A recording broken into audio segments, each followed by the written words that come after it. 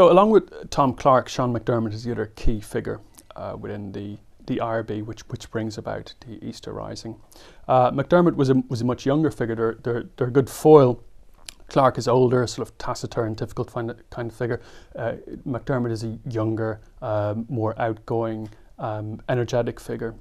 Uh, McDermott is born in Kiltyclogher in County Leitrim he's not born into a, Fenian tradition in the same way as some of the other figures, such as Clarke. He comes to republicanism through cultural nationalism, and in fact, been involved with, with, with organisations such as the Hibernians um, prior to that.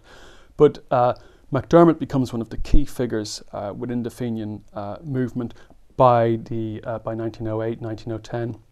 Um, he's the managing editor of, of Irish Freedom, so he's essentially a very important kind of propagandist within um, Fenianism.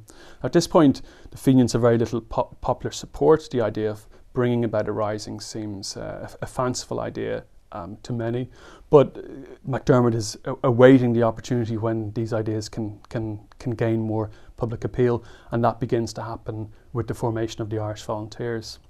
So, for someone like McDermott, the arrival of the volunteers, which is sparked off, of course, by the Ulster crisis, creates an opening for a kind of uh, a militaristic politics which hadn't existed previously.